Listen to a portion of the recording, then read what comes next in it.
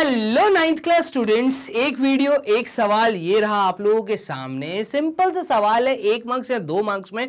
Teacher को ये आपको देना चाहिए। तो देखिए, सवाल क्या है? सवाल ये है कि a guy attached a wire 24 metre long to a vertical pole अब ये कह रहा है, एक एक कोई पर्सन है, वो अटैच कर रहा है वायर को, जो कि वायर 24 मीटर लॉन्ग है टू अ वर्टिकल पोल एक पोल है जो कि वर्टिकल स्टैंडिंग पोजीशन में है और इस पोल से किसी ने वायर को टाइट किया, ठीक है? तो वायर को ऊपर से अटैच किया अटैच करके वो वायर को लेके चला। तो पोल वो कह रहा है vertical pole of a height 18 metre pole की जो हाइट है, ये आपको दी है 18 मीटर और आपको वायर की हाइट दी है 24 मीटर ये रहा 24 मीटर की वायर ठीक है? And has a attach to the other end stake का मतलब होता है खूटा। खूटा पता होगा आप लोगों को, मुझे कमेंट बॉक्स में जो बताइएगा। खूटा एक बेसिकली एक लकड़ी का टुकड़ा या लोहे का सरिया जो इस एंड पे बंधा हुआ है। जैसे आपने टेंट हाउस वालों को देखा होगा, जो वो रस्सी बांधते हैं तो वो एक इतनी टाइट करके खूटा बाँध देते हैं, उससे रस्सी को टाइट कर देते हैं। तो बेसिकली 24 मीटर लॉन्ग वायर है, जिसको स्टैक के थ्रू वो टाइट करेगा। यहाँ पर इस तरह का सवाल है। तो how far from the base base से कितनी दूर वो इस खूटे को टाइट करे? Pole should be stake be driven so that the wire will be tighten wire एकदम टाइट खींच के यहाँ पे बन जाए तो उसको कितनी दूर पे ये बांधना है। दैट मीन्स आपको बेस पता करना है बेस का डिस्टेंस पता करना है। तो यहाँ पे देखिएगा, जैसे ही मैं इस तरह का सवाल देखता हूँ तो पोल क्योंकि वर्टिकल पोजीशन में है तो पोल बेस से बनाएगा 90 डिग्री का एंगल और इस 90 डिग्री के सामने होता है hypotenuse. Hypotenuse perpendicular and base. आपको पता क्या करना है? तो आपको पता करना है बेस। देखिए, यहाँ पे हम लोग सिंपल सा यूज़ करेंगे पाइथो थ्योरम का। तो पाइथोगोरियस थ्योरम का यूज़ करके आप इसको कर सकते हैं सॉल्व। इतना आसान आसान है। जल्दी से मेरे से पहले आप कमेंट बॉक्स में आंसर बताइए। देखिएगा 90 डिग्री के सामने अगर मैं ट्राइंगल का नाम दे दूँ ए बी सी तो जो ए सी है, ये वायर है। ये एक हाइपोटेन्यूस है दैट मींस ए सी का स्क्वायर क्या है हमारा फॉर्मूला हमारा फॉर्मूला है hypotenuse square is equals to perpendicular square plus base square आप देखिएगा ए सी का स्क्वायर किसके बराबर आएगा? तो ये इस पोल पर पेंडिकुलर पर पेंडिकुलर मतलब बेस से जो 90 डिग्री का एंगल बना रहा है तो यहाँ पर आपका ए बी ए बी जो है ये पोल है।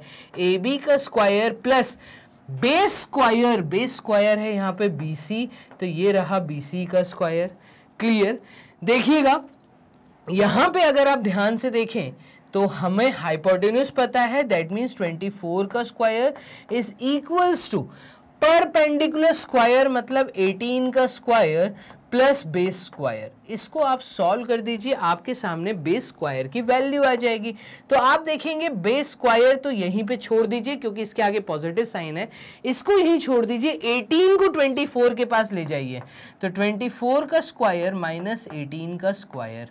जल्दी से 24 स्क्वायर और 18 स्क्वायर की अगर हम वैल्यू निकालते हैं तो ये आएगी something 526 24 multiplied with 24 is 16 2 into four is 8 8 plus 1 is 9 96 multiplied with uh, sorry cross 2 into 4 is 8 and 2 into 2 is 4 ये वैल्यू हमारी आ रही है कितनी? सिक्स आठ आठ, सोलह, सत्रह। सत्रह का सात carry one five seventy six तो यहाँ पे ये यह आएगा फाइव सेवन सिक्स माइनस अब आपको निकालना है एटीन का स्क्वायर तो एटीन का स्क्वायर अगर आप देखें तो ये आपका होता है eight one times is eight nine और टेन तो one forty four multiplied with ये आ जाएगा फोर और ये आ जाएगा twelve three twenty four clear है।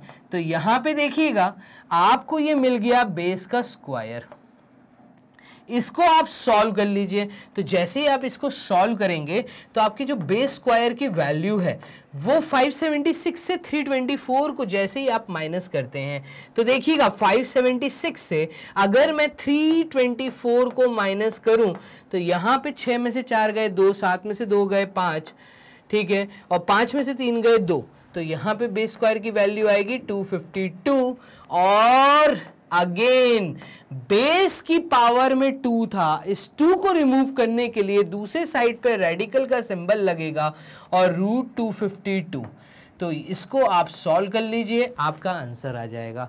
देखिए रूट ऑफ़ 252 को सॉल्व करने के लिए मतलब बेस बेस है आपका सी बी तो सी बी निकालने के लिए आप क्या करेंगे?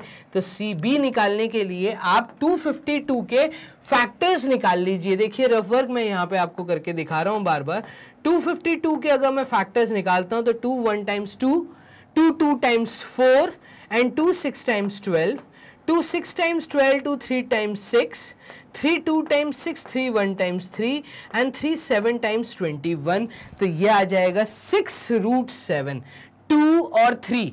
देखिएगा, रूट के अंदर यहाँ पे जो फैक्टर्स आ रहे हैं, वो आ रहे हैं two into two, three into three into seven.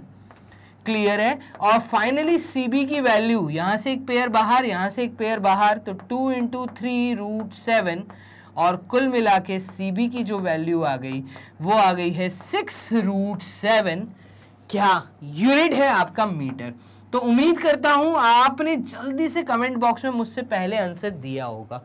Clear है। तो यहाँ पे C B six root seven metre इसी तरह के अच्छे सवाल पाने के लिए बने रहिए मैग्नेट के प्लेटफॉर्म पे। फॉलो करते रहिए हमें टेलीग्राम इंस्टाग्राम ट्विटर टेलीग्राम के थ्रू और यहाँ पे अगर आप चाहते हैं बुकलेट्स पाना तो जल्दी से नीचे जाके फॉर्म फिलअप करिए। मतलब डिस्क्रिप्शन बॉक्स में जाइए लिंक मिलेगा। लिंक पे फॉर्म फिलअप करिए। मैग्नेट बेंस के जितने भी टीम है, वो आपके आएगी जल्दी से कांटेक्ट में और आपको ये बुकलेट्स अवेलेबल करा दी जाएँगी, जो कि basically sample papers mock test papers और उनके सॉल्यूशन बुकलेट्स हैं। आप तक ये बुकलेट जल्दी पहुँचाने का ज़िम्मेदारी मेरी है, लेकिन उससे पहले आपको फॉर्म फिलअप करना होगा। मिलते हैं नेक्स्ट सवाल में, तब तक के लिए ध्यान रखो बाय एंड टेक केयर